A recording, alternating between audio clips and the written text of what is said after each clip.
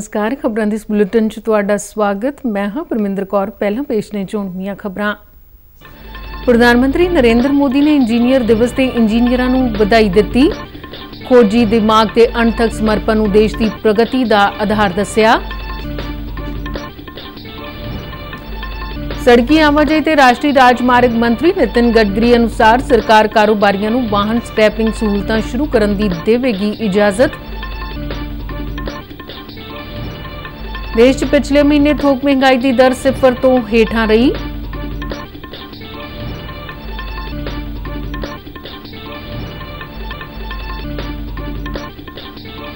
ਜੰਮੂ ਕਸ਼ਮੀਰ ਵਿੱਚ ਅੱਤਵਾਦੀ ਮੁਕਾਬਲੇ ਦੌਰਾਨ ਜਾਨਾਂ ਮਾਰਨ ਵਾਲੇ ਫੌਜੀ ਜਵਾਨਾਂ ਦੀਆਂ ਮ੍ਰਿਤਕ ਦੇਹਾਂ ਅੰਤਿਮ ਸੰਸਕਾਰ ਲਈ ਉਹਨਾਂ ਦੇ ਜੱਦੀ ਸਥਾਨ ਪੁੱਜੀਆਂ। ਪੰਜਾਬ ਸਰਕਾਰ ਵੱਲੋਂ ਜੰਗਲੀ ਜੀਵਾਂ ਦੇ ਗੈਰ ਕਾਨੂੰਨੀ ਸ਼ਿਕਾਰ ਨੂੰ ਰੋਕਣ ਲਈ ਸਖਤ ਕਦਮ ਚੁੱਕੇ ਜਾ ਰਹੇ ਨੇ। ਹੁਣ ਖਬਰਾਂ ਵਿਸਥਾਰ ਨਾਲ। ਪ੍ਰਧਾਨ ਮੰਤਰੀ ਨਰਿੰਦਰ ਮੋਦੀ ਨੇ ਇੰਜੀਨੀਅਰ ਦਿਵਸ ਤੇ ਸਾਰੇ ਮਿਹਨਤੀ ਇੰਜੀਨੀਅਰਾਂ ਨੂੰ ਵਧਾਈ ਦਿੱਤੀ ਹੈ। ਸੋਸ਼ਲ ਮੀਡੀਆ ਤੇ ਪਾਈ ਇੱਕ ਪੋਸਟ ਵਿੱਚ ਪ੍ਰਧਾਨ ਮੰਤਰੀ ਨੇ ਕਿਹਾ ਹੈ ਕਿ ਇੰਜੀਨੀਅਰਾਂ ਦਾ ਖੋਜੀ ਦਿਮਾਗ ਅਤੇ ਅਣਥਕ ਸਮਰਪਣ ਸਾਡੇ ਦੇਸ਼ ਦੀ ਪ੍ਰਗਤੀ ਦਾ ਆਧਾਰ ਹੈ। ਉਨ੍ਹਾਂ ਕਿਹਾ ਕਿ ਬੁਨਿਆਦੀ ਢਾਂਚੇ ਦੇ ਚਮਤਕਾਰਾਂ ਤੇ ਤਕਨੀਕੀ ਸਫਲਤਾਵਾਂ ਤੱਕ ਉਹਨਾਂ ਦਾ ਯੋਗਦਾਨ ਸਾਡੀ ਜ਼ਿੰਦਗੀ ਦੇ ਹਰ ਪੱਖ ਨੂੰ ਸੁਣਦਾ ਹੈ। ਪ੍ਰਧਾਨ ਮੰਤਰੀ ਨੇ ਇੰਜੀਨੀਅਰ ਦਿਵਸ ਤੇ ਦੂਰਦਰਸ਼ੀ ਇੰਜੀਨੀਅਰ ਅਤੇ ਰਾਜਨੇਤਾ ਡਾਕਟਰ ਐਮ ਵਿਸ਼ਵਰਈਆ ਨੂੰ ਉਹਨਾਂ ਦੀ ਜਯੰਤੀ ਤੇ ਸ਼ਰਧਾਂਜਲੀ ਦਿੱਤੀ ਅਤੇ ਕਿਹਾ ਕਿ ਉਹ ਪੀੜ੍ਹੀ ਦਰ ਪੀੜ੍ਹੀ ਲੋਕਾਂ ਨੂੰ ਨਵਾਂ ਅਤੇ ਦੇਸ਼ ਦੀ ਸੇਵਾ ਲਈ ਪ੍ਰੇਰਿਤ ਕਰਦੇ ਰਹੇ। ਪ੍ਰਧਾਨ ਮੰਤਰੀ ਨੇ ਚਿੱਕਾ ਬਲਪੁਰਾ ਦੀਆਂ ਕੁਝ ਝਲਕੀਆਂ ਵੀ ਸਾਂਝੀਆਂ ਕੀਤੀਆਂ, ਜਿੱਥੇ ਉਹਨਾਂ ਨੇ ਇਸ ਸਾਲ ਆਪਣੇ ਦੌਰੇ ਦੌਰਾਨ ਡਾਕਟਰ ਵਿਸ਼ਵਰਈਆ ਨੂੰ ਸ਼ਰਧਾਂਜਲੀ ਭੇਂਟ ਕੀਤੀ ਸੀ। ਗ੍ਰਹਿ ਤੇ ਸਹਿਕਾਰਤਾ ਮੰਤਰੀ ਅਮਿਤ ਸ਼ਾਹ ਨੇ ਕਿਹਾ ਕਿ ਇੰਜੀਨੀਅਰਾਂ ਨੇ ਅਰਥ ਵਿਵਸਥਾ ਦੇ ਹਰ ਖੇਤਰ ਵਿੱਚ ਯੋਗਦਾਨ ਦੇ ਕੇ ਰਾਸ਼ਟਰ ਨਿਰਮਾਣ ਵਿੱਚ ਮਹੱਤਵਪੂਰਨ ਭੂਮਿਕਾ ਨਿਭਾਈ ਹੈ। ਸੜਕੀ ਆਵਾਜਾਈ ਤੇ ਰਾਜਮਾਰਗ ਮੰਤਰੀ ਨਿਤਿਨ ਗਡਕਰੀ ਨੇ ਕਿਹਾ ਕਿ ਵਾਹਨ ਕਾਰੋਬਾਰੀਆਂ ਨੂੰ ਵੀ ਵਾਹਨਾਂ ਨੂੰ ਕਬਾੜ ਬਣਾਉਣ ਦੀਆਂ ਸਹੂਲਤਾਂ ਸ਼ੁਰੂ ਕਰਨੀਆਂ ਚਾਹੀਦੀਆਂ ਨੇ। ਨਵੀਂ ਦਿੱਲੀ 'ਚ ਪੰਜਵੇਂ ਆਟੋ ਰੀਅਲ ਸੰਮੇਲਨ ਨੂੰ ਸੰਬੋਧਨ ਕਰਦਿਆਂ ਉਨ੍ਹਾਂ ਕਿਹਾ ਕਿ ਸਰਕਾਰ ਇੱਕ ਸਰਕੂਲਰ ਅਰਥ ਵਿਵਸਥਾ ਨੂੰ ਹੁਲਾਰਾ ਦੇ ਰਹੀ ਹੈ, ਜਿਸ ਨਾਲ ਸਰਕਾਰ ਕਾਰੋਬਾਰੀਆਂ ਨੂੰ ਵਾਹਨ ਸਕ੍ਰੈਪਿੰਗ ਸਹੂਲਤਾਂ ਸ਼ੁਰੂ ਕਰਨ ਦੀ ਇਜਾਜ਼ਤ ਦੇਵੇਗੀ। ਉਨ੍ਹਾਂ ਕਿਹਾ ਕਿ ਸਰਕਾਰ ਦੇਸ਼ ਨੂੰ ਗ੍ਰੀਨ ਹਾਈਡਰੋਜਨ ਦਾ ਸਭ ਤੋਂ ਵੱਡਾ ਨਿਰਮਾਤਾ ਬਣਾਉਣ ਦਾ ਕੰਮ ਕਰ ਰਹੀ ਹੈ। ਉਨ੍ਹਾਂ ਆਖਿਆ ਕਿ ਵਾਹਨ ਕਾਰੋਬਾਰੀ ਭਾਰਤ ਨੂੰ 5000 ਅਰਬ ਡਾਲਰ ਦੀ ਅਰਥ ਵਿਵਸਥਾ ਬਣਾਉਣ ਵਿੱਚ ਅਹਿਮ ਭੂਮਿਕਾ ਨਿਭਾ ਸਕਦੇ ਨੇ। ਕੇਂਦਰੀ ਬਿਜਲੀ ਮੰਤਰੀ ਆਰ ਕੇ ਸਿੰਘ ਨੇ ਕਿਹਾ ਕਿ ਦੇਸ਼ 'ਚ ਕੁੱਲ ਬਿਜਲੀ ਉਤਪਾਦਨ ਵਿੱਚ ਨਿਵਿਆਉਣਯੋਗ ਊਰਜਾ ਦੀ ਹਿੱਸੇਦਾਰੀ ਸਾਲ 2030 ਤੱਕ ਵੱਧ ਕੇ 65% ਹੋ ਜਾਵੇਗੀ।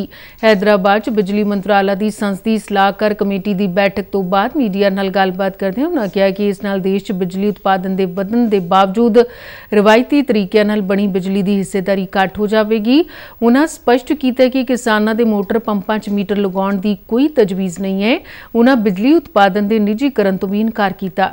ਉਹਨਾਂ ਦੱਸਿਆ ਕਿ ਇਸ ਸਾਲ ਦਸੰਬਰ ਤੱਕ ਤੇਲੰਗਾਨਾ 'ਚ ਨੈਸ਼ਨਲ ਥਰਮਲ ਪਲਾਂਟ ਕਾਰਪੋਰੇਸ਼ਨ ਦੇ ਦੋ ਪਲਾਂਟ ਚਾਲੂ ਹੋ ਜਾਣਗੇ, ਜਦਕਿ ਦੋ ਹੋਰ ਪਲਾਂਟਾਂ ਨੂੰ ਸੂਬਾ ਸਰਕਾਰ ਦੀ ਮਨਜ਼ੂਰੀ ਦਾ ਇੰਤਜ਼ਾਰ ਹੈ। ਉਹਨਾਂ ਕਿਹਾ ਕਿ ਪਿਛਲੇ 10 ਸਾਲਾਂ ਦੌਰਾਨ ਤੇਲੰਗਾਨਾ ਨੇ ਪਿੰਡੂ ਬਿਜਲੀ ਕਰਨ ਲਈ 137000 ਕਰੋੜ ਰੁਪਏ ਤੋਂ ਵੱਧ ਦੀ ਰਾਸ਼ੀ ਅਤੇ 110000 ਕਰੋੜ ਰੁਪਏ ਤੋਂ ਵੱਧ ਦਾ ਕਰਜ਼ਾ ਮਨਜ਼ੂਰ ਕੀਤਾ ਹੈ। ਦੂਰਦਰਸ਼ਨ ਅੱਜ ਆਪਣਾ 64ਵਾਂ ਸਥਾਪਨਾ ਦਿਵਸ ਮਨਾ ਰਿਹਾ ਹੈ। 15 ਸਤੰਬਰ 1959 ਨੂੰ ਪਬਲਿਕ ਬ੍ਰਾਡਕਾਸਟਿੰਗ ਦੇ ਤੌਰ ਤੇ ਸ਼ੁਰੂ ਹੋਏ ਦੂਰਦਰਸ਼ਨ ਨੇ ਆਪਣੇ 64 ਵਰਿਆਂ ਦੇ ਹੁਣ ਤੱਕ ਦੇ ਕਾਰਜਕਾਲ ਵਿੱਚ ਕਈ ਅਹਿਮ ਪ੍ਰਾਪਤੀਆਂ ਹਾਸਲ ਕੀਤੀਆਂ।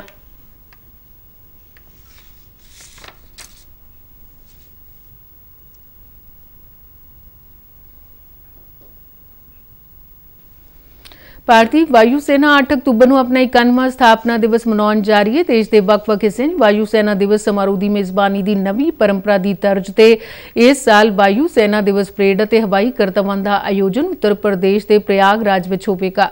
ਵਾਯੂ ਸੈਨਾ ਦਿਵਸ ਸਮਾਗਮ ਇੱਕ ਹਫ਼ਤਾ ਪਹਿਲਾਂ ਹੀ 30 ਸਤੰਬਰ ਤੋਂ ਮੱਧ ਪ੍ਰਦੇਸ਼ ਦੇ ਭੋਪਾਲ ਵਿੱਚ ਭੋਜਤਾਲ ਝੀਲ ਦੇ ਕੰਢੇ ਤੇ ਆਯੋਜਿਤ ਇੱਕ 에ਅਰ ਸ਼ੋਅ ਨਾਲ ਸ਼ੁਰੂ ਹੋ ਜਾਵੇਗਾ। ਪਿਛਲੇ ਦਿਨੀ ਅਨੰਤਨਾਗ ਵਿੱਚ ਅਤਵਾਦੀਆਂ ਨਾਲ ਮੁੱਠਭੇੜ ਦੌਰਾਨ ਜਾਨਾਂ ਮਾਰਨ ਵਾਲੇ ਸੈਨਿਕਾਂ ਦੀਆਂ ਮ੍ਰਿਤਕ ਦੇਹਾਂ ਉਹਨਾਂ ਦੇ ਘਰ ਪਹੁੰਚ ਗਈਆਂ ਨੇ। ਸਵਰਗੀ ਕਰਨਲ ਮਨਪ੍ਰੀਤ ਸਿੰਘ ਦੀ ਮ੍ਰਿਤਕ ਦੇਹ ਨੂੰ ਉਹਨਾਂ ਦੇ ਖਰੜ ਹਲਕੇ 'ਚ ਪੈਂਦੇ ਪਿੰਡ ਪੜੌਜੀਆ ਵਿਖੇ ਲਿਆਂਦਾ ਗਿਆ।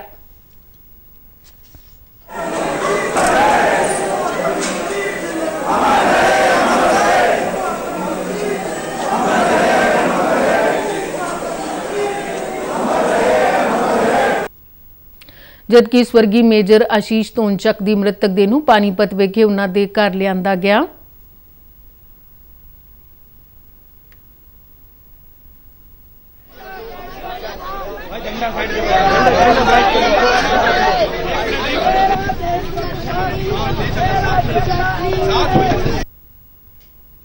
ਇਨ੍ਹਾਂ ਬਹਾਦਰ ਫੌਜੀਆਂ ਨੂੰ ਸ਼ਰਧਾਂਜਲੀ ਭੇਂਟ ਕਰਨ ਲਈ ਪ੍ਰਸ਼ਾਸਨ ਤੋਂ ਇਲਾਵਾ ਰਾਜਨੀਤਿਕ, ਸਮਾਜਿਕ ਜਥੇਬੰਦੀਆਂ ਦੇ ਨੁਮਾਇੰਦੇ ਤੇ ਆਮ ਨਾਗਰਿਕ ਪੁੱਜ ਰਹੇ ਨੇ। ਦੋਹਾਂ ਫੌਜੀਆਂ ਦਾ ਅੰਤਿਮ ਸੰਸਕਾਰ ਪੂਰੇ ਫੌਜੀ ਸਨਮਾਨਾਂ ਨਾਲ ਕੀਤਾ ਜਾਵੇਗਾ। ਇਸ ਤੋਂ ਪਹਿਲਾਂ ਜੰਮੂ ਕਸ਼ਮੀਰ ਦੇ ਉਪ ਰਾਜਪਾਲ ਮਨੋਜ ਸਿਨਹਾ, ਭਾਰਤੀ ਫੌਜ ਦੀ ਚਨਾਰ ਕੋਰ ਦੇ commander lieutenant general Rajiv Ghai ਅਤੇ ਜੰਮੂ ਕਸ਼ਮੀਰ ਦੇ ਮੁੱਖ ਸਕੱਤਰ ਡੀਜੀਪੀ ਅਤੇ ਕਈ ਹੋਰ ਪਤਵੰਤਿਆਂ ਨੇ ਸ਼੍ਰੀਨਗਰ ਦੇ ਬੀਬੀ ਕੈਂਟ ਵਿੱਚ ਦੇਸ਼ ਦੀ ਰਾਖੀ ਲਈ ਜਾਨ ਮਾਰਨ ਵਾਲੇ ਸੈਨਿਕਾਂ ਨੂੰ ਸ਼ਰਧਾਂਜਲੀ ਭੇਂਟ ਕੀਤੀ।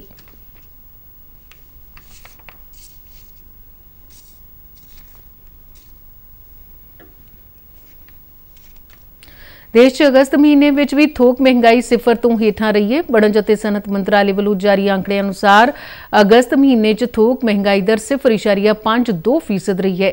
ਇਸ ਤੋਂ ਪਹਿਲਾਂ ਜੁਲਾਈ ਮਹੀਨੇ 'ਚ 1.36% ਰਹੀ ਸੀ। ਅਗਸਤ ਵਿੱਚ ਮਹਿੰਗਾਈ ਦਰ ਵਿੱਚ ਗਿਰਾਵਟ ਮੁੱਖ ਤੌਰ ਤੇ ਖਣਿਜ ਤੇਲਾਂ, ਕੱਪੜਾ ਤੇ ਖੁਰਾਕੀ ਵਸਤਾਂ, ਬੁਨਿਆਦੀ ਧਾਤਾਂ ਤੇ ਰਸਾਇਣ ਉਤਪਾਦਾਂ ਦੀਆਂ ਕੀਮਤਾਂ 'ਚ ਗਿਰਾਵਟ ਕਾਰਨ ਆਈ ਹੈ।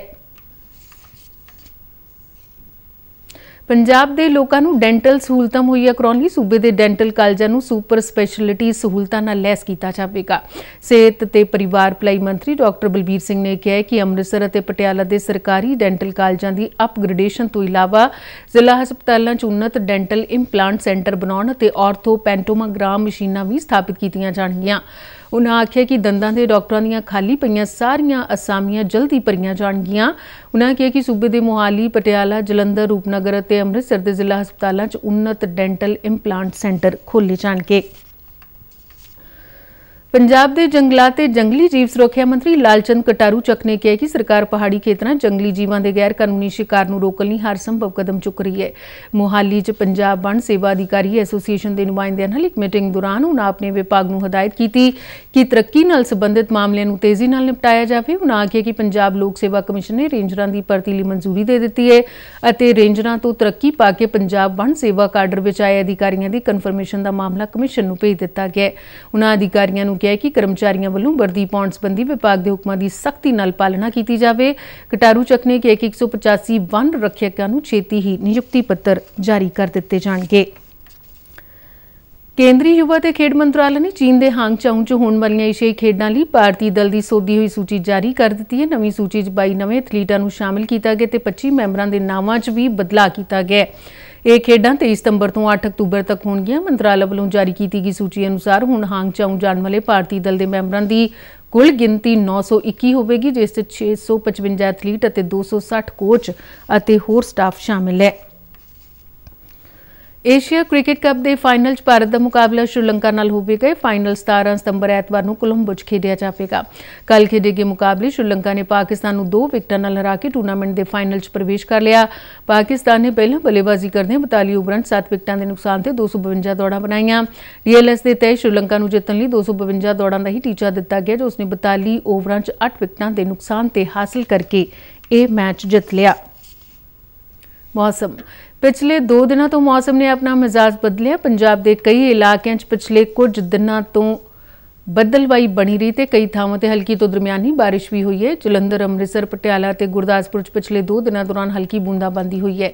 ਮੌਸਮ ਵਿਭਾਗ ਨੇ ਜਲੰਧਰ, ਪਟਿਆਲਾ, ਮਾਨਸਾ, ਸੰਗਰੂਰ, ਤਰਨਤਾਰਨ, ਕਪੂਰਥਲਾ, ਹੁਸ਼ਿਆਰਪੁਰ, ਗੁਰਦਾਸਪੁਰ, ਪਠਾਨਕੋਟ ਅਤੇ ਮੋਹਾਲੀ ਸਮੇਤ ਸੂਬੇ ਦੀਆਂ ਕਈ ਥਾਵਾਂ ਤੇ ਹਲਕੀ ਤੋਂ ਦਰਮਿਆਨੀ ਬਾਰਿਸ਼ ਹੋਣ ਦੀ ਸੰਭਾਵਨਾ ਜਤਾਈ ਹੈ। ਭਾਰਤੀ ਮੌਸਮ ਵਿਭਾਗ ਨੇ ਅਗਲੇ 4 ਦਿਨਾਂ ਤੱਕ ਪੱਛਮੀ ਭਾਰਤ ਵਿੱਚ ਮੌਨਸੂਨ ਵਰਗੀ ਸਥਿਤੀ ਦੇ ਮੁੜ ਤੋਂ ਐਕਟਿਵ ਹੋਣ ਦੀ ਸੰਭਾਵਨਾ ਪ੍ਰਗਟਾਈ ਹੈ। ਵਿਭਾਗ ਨੇ 17 ਤੇ 18 ਸਤੰਬਰ ਨੂੰ ਕੋਂਕਣ, ਗੋਆ, ਮਹਾਰਾਸ਼ਟਰ ਦੇ ਤਟਵਰਤੀ ਇਲਾਕਿਆਂ, ਰਾਜਸਥਾਨ ਅਤੇ ਗੁਜਰਾਤ ਵਿੱਚ ਬਿਜਲੀ ਚਮਕਣ ਅਤੇ ਭਾਰੀ ਮੀਂਹ ਪੈਣ ਦੀ ਸੰਭਾਵਨਾ ਜਤਾਈ ਹੈ।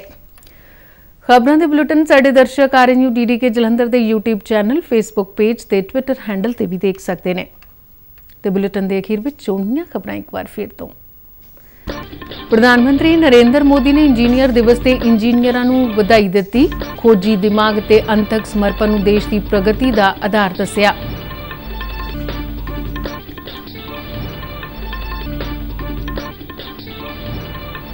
ਸੜਕੀ ਆਵਾਜਾਈ ਤੇ ਰਾਸ਼ਟਰੀ ਰਾਜ ਮੰਤਰੀ ਨਿਤਿਨ ਗਡਕਰੀ ਅਨੁਸਾਰ ਸਰਕਾਰ ਕਾਰੋਬਾਰੀਆਂ ਨੂੰ ਵਾਹਨ ਸਕ੍ਰੈਪਿੰਗ ਸਹੂਲਤਾਂ ਸ਼ੁਰੂ ਕਰਨ ਦੀ ਦੇਵੇਗੀ ਇਜਾਜ਼ਤ। ਦੇਸ਼ 'ਚ ਪਿਛਲੇ ਮਹੀਨੇ ਥੋਕ ਮਹਿੰਗਾਈ ਦੀ ਦਰ ਸਿਫਰ ਤੋਂ ਹੇਠਾਂ ਰਹੀ।